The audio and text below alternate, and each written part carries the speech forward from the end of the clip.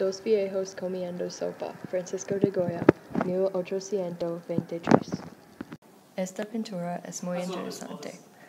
La obra tiene colores oscuros y es el estilo manierismo. Me interesa la figura a la derecha. Esa es fea, misteriosa y perturbadora. Me parecen extraños los viejos en este retrato. Hay mucho contraste porque tiene colores negros y blancos. El viejo a la derecha de la pintura tiene la escudilla y el viejo de la izquierda es desfugadora.